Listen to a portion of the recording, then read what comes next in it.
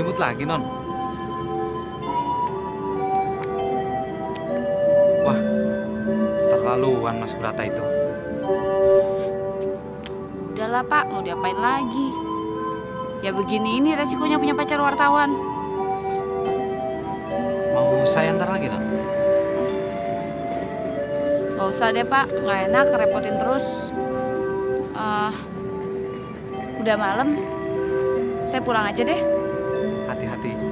Makasih Pak, selamat malam. Malam.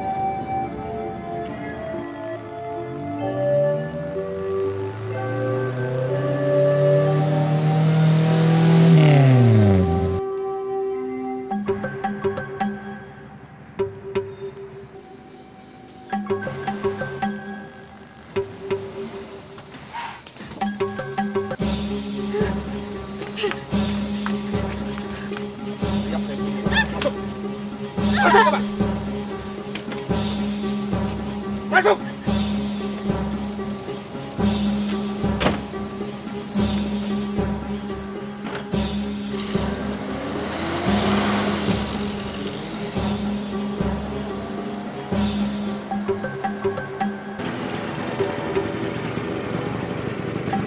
Malam, Pak. Malam.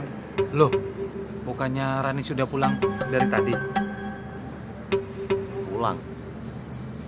Mana ya? Wah, jangan-jangan Rani dibawa kabur sama cowok lain. Soalnya kamu suka telat jemput sih. ya udah, saya tinggal jaga dulu ya.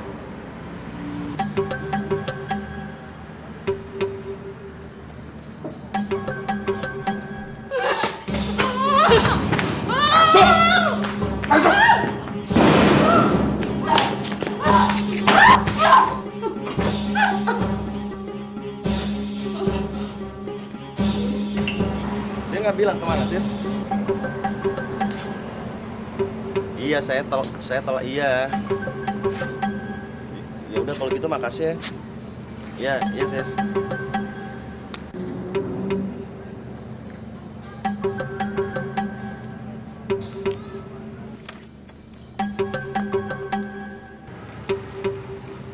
Gimana? Sudah tahu di mana Non Rani? Saya sudah telepon semua temannya, Pak. Tapi temannya bilang nggak ada yang tahu. Mana ya? Biasanya selalu jemput. Kok belakangan ini jarang sih? Itulah. Itulah. Itulah, Pak. Saya sibuk, Pak. Makanya mas, kerjaan itu kan bisa dicari lagi. Tapi kalau wanita seperti Non Rani itu, kalau lepas susah cari gantinya loh.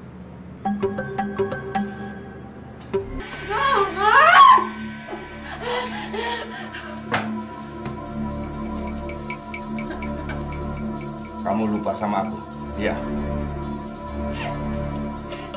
Saya nggak tahu kamu itu siapa. Aku lelaki yang kamu jebloskan ke dalam penjara. Ini. Ini.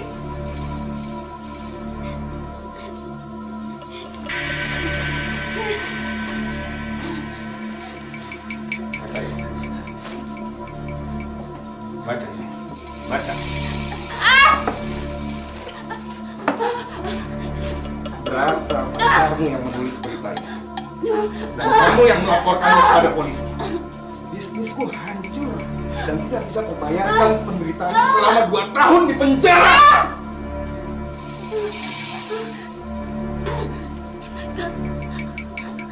Kamu Kamu ingat wajah ini? Coba kamu ingat wajah ini. Kamu ingat wajah ini. dua tahun waktu yang cukup lama. Aku hampir mati di penjara. Kamu lihat? Kamu lihat wajah ini? Ini hasil perbuatanmu. Kamu lihat ini? Lihat.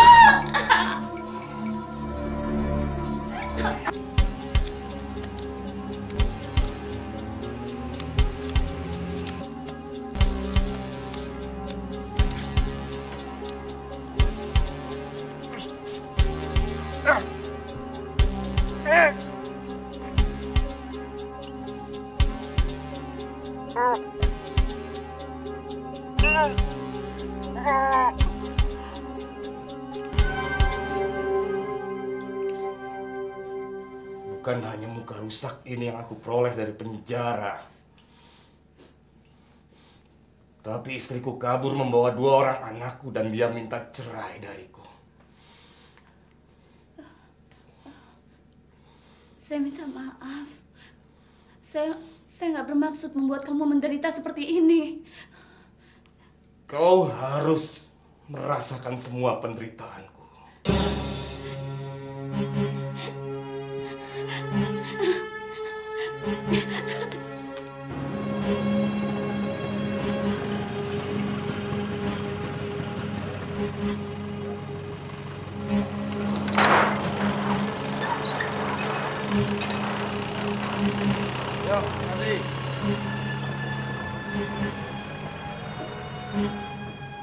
Eh, ada Pak Kumis nggak, Pak? Pak Kumis.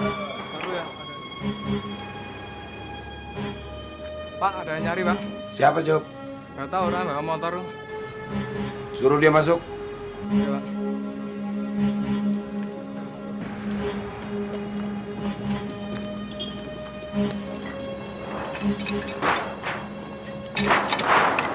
Jangan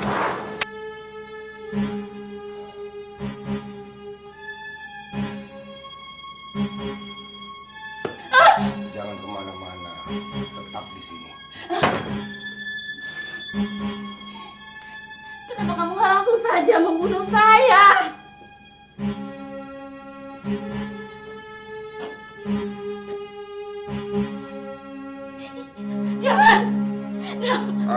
Sedang mencari alat yang tepat untuk membunuhmu.